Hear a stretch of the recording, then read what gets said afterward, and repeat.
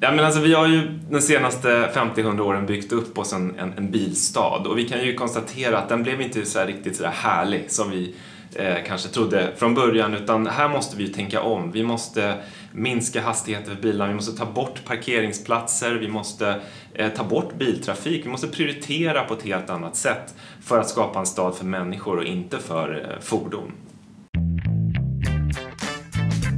Ja, men vi kan ju se alltså vad som driver bostadsmarknaden idag, när vi tittar på analyser av bostadsmarknaden, så är det ju om man kan leva utan bil. Om man har attraktiva vistelsemiljöer eh, som, som gör att man helt enkelt inte blir störd. Vi vet att närheten till buller och motorvägar sänker bostadsvärdena. Alltså, I centrum för en bra stadsplanering så ligger ju platsen.